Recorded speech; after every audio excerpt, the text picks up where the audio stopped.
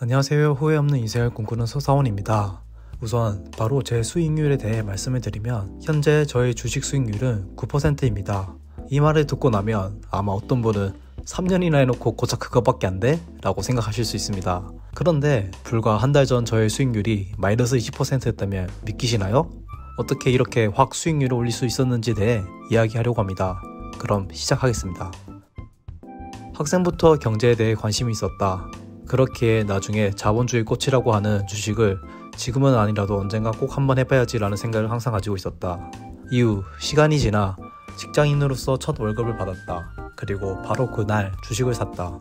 주식을 살 때 했던 생각은 그냥 은행 이자보다 좀 더 벌어보자는 마인드로 시작하였다. 뭐 엄청나게 큰 돈을 한숨에 벌어들이기보단 그냥 꾸준히 투자하여 돈을 벌어보고 싶다는 생각이었다. 그리고 어느 이야기든 나오는 초심자의 행운이 나에게도 발생을 하였다. 왜냐하면 그때 내가 주식을 샀던 타이밍이 코로나로 인해 엄청나게 하락했던 주식시장의 끝점이었기 때문이다. 즉, 역대급 반등이 시작되기 바로 직전이었던 것이다. 여기서 더 내가 행운하였다라고 생각이 드는 이유는 그 당시에 주식에 대해 더 잘 알았으면 이 끝없이 떨어지는 주식장이 무서워 투자를 하지는 않았을 거기 때문이다. 오히려 잘 몰랐었기에 투자를 할 수 있었다. 그렇게 첫 주식 투자 후 약 한 달 뒤 나의 주식 수익률은 20%가 되었다. 이러한 행복감이 커질수록 아쉬움도 컸다. 처음에는 무작정 좋았었다. 이거 대박인데? 그냥 돈 넣어두고 가만히 있으면 이렇게 돈을 벌 수 있다고? 대박이다. 아, 그런데 조금만 돈을 더 투자하면 더 많이 벌 수 있었을 텐데 라는 생각이 점점 더 커졌다. 그리고 나는 이때부터 주식 중독에 걸렸다. 어릴 때 이해할 수 없었던 어른들의 행동 중 하나였던 시도 때도 없이 주가창을 보는 행동이 이해가 되었다. 나도 어느새 그러고 있었기 때문이었다. 주가창을 본다고 주식이 더 오르는 것은 아니지만 상승해 있는 주식 가격을 보면 뿌듯하기도 하면서 욕심이 계속 났었다. 이후 월급이 들어오는 날마다 주식을 샀고 그 비중은 10%에서 20%로 그리고 30%로 점점 커져갔다. 이때는 그래도 되는 줄 알았다. 왜냐하면 주식이 끊임없이 올랐기 때문이다. 돈이 더 없다는 사실이 그저 안타까울 뿐이었다. 나의 투자금들 또한 하루가 다르게 커져만 갔다. 몇몇 주식의 수익률은 100%가 넘는 것들도 있었다. 하지만 시간이 지나 인생이 행복할 수만 없듯이 주식시장의 끝자락도 다가왔다. 매일 올랐던 주식시장이 올라가는 방법을 까먹었는지 미친 듯이 떨어졌고 나의 마음 또한 점점 하락하였다. 하지만 나는 여기서 포기할 수는 없었다.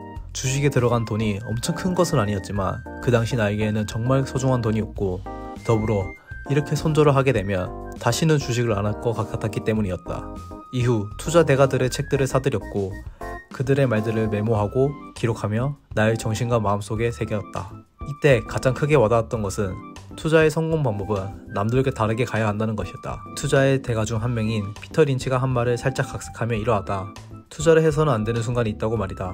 펀드 매니저도 아닌 일반 사람들조차 주식 추천을 하고 주식 투자에 대해 조언을 하는 순간들이 바로 그 순간이라고 말이다. 그리고 그들이 주식을 손절하고 좌절할 때가 진짜 주식시장에 들어갈 때라고 말이다. 나의 행동은 오히려 그 명언과 완벽하게 반대였었다는 사실을 깨달았다. 그 후 나는 지금 실패를 다시 겪지 않기 위해 나만의 투자 규칙을 만들기로 했다. 왜냐하면 나 또한 인간이기에 감정이 있고 그 감정으로 인해 객관적인 판단을 하지 못하는 순간이 오기 때문이다. 그래서 결과적으로 내가 만든 룰은 단 두 가지다. 첫 번째는 주식이 진짜 주식으로서 역할을 하는 해외 주식을 하자는 것이었고 두 번째는 주식 시장이 최고점 대비 20% 하락하기를 시작하면 그때부터 돈을 분사 투자 시작하자는 것이었다.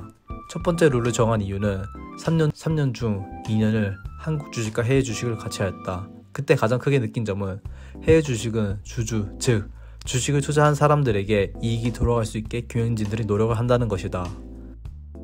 하지만 현재 우리나라의 주식은 주주를 위하기보다는 경영진의 승계를 위한 도구로서 사용되는 경향이 아직까지 크다 판단도 되고 그렇게 느꼈기에 선호를 하지 않게 되었다. 그리고 개인적으로 좋아하는 대부분의 브랜드와 회사들 나의 주변 생활들을 점령하는 것들이 대부분 해외 주식의 것들이 많았기 때문이다. 가장 중요한 게 두 번째 율이라고 생각한다. 나는 주식의 가격을 우리는 절대 예측할 수 없다고 생각한다. 이를 예측할 수 있는 것은 전쟁이 일어날지 또는 코로나가 언제 일어날지 맞추는 것과 같다고 생각하기 때문이다. 하지만 확실히 알 수 있는 사실이 있다. 주식은 항상 오르기만 하지 않는다는 것이다. 그리고 항상 하락하지도 않는다는 사실을 말이다. 그렇다면 우린 언제 투자를 해야 할까? 바로 주식이 하락할 때 사야 한다. 즉, 똑같은 제품이면 할인이 들어갈 때 투자를 해야 이득을 볼 확률이 높기 때문이다. 하지만 우리 머리로는 이렇게는 알지만 막상 실행을 하려고 하면 하지 못한다. 두렵기 때문이다. 그렇기 때문에 나는 두 번째 룰을 만들었다. 어디가 하락의 끝인지는 모르지만 20% 떨어졌을 때부터 가지고 있는 돈을 분산하여 투자를 하면 결국 하락의 끝자락 즉 가장 할인을 많이 하는 순간과 점점 가깝게 투자를 할 수 있다고 생각했기 때문이다. 그리고 이를 실천한 결과 불과 한 달 만에 투자 수익률을 마이너스 20%에서 9%로 바꿀 수 있었다. 물론 정말 좋은 주식들에 투자를 하였다면 이와 같은 룰을 꼭 적용하지 않아도 결국은 주식의 수익률은 마이너스에서 플러스로 바뀔 것이다. 하지만 나는 더 나은 결과를 만들기 위해 이 방법을 적용하여 더 빠르게 마이너스인 나의 주식 상황을 바꿨고 지금의 수익률이 되었다고 생각한다. 결론만 보면 3년이란 투자 기간에 비해 현재 수익률이 뛰어난 것은 아닐 수 있다고 생각한다. 하지만 단순히 돈을 떠나 상승장과 하락장, 해모장의 희노애락을 겪어가며 저만의 투자 기준을 만들 수 있었기에 전혀 아쉽지 않은 3년이라고 생각합니다. 이렇게 주식 투자를 하면서 느낀 점들과 저의 생각을 이번 영상에서 말해보았습니다. 언제나 그렇듯 저의 생각이 정답이라고 말하려는 취지기보다는 이렇게 생각하는 친구도 있구나 라고 봐주시면 감사하겠습니다. 다들 행복하시길 바라며 후회 없는 인생을 꿈꾸는 서사원이었습니다. 저의 영상이 재미있으셨거나 도움이 되었다면 좋아요와 구독 눌러주시면 감사하겠습니다. 다음 영상에서 또 찾아뵙겠습니다.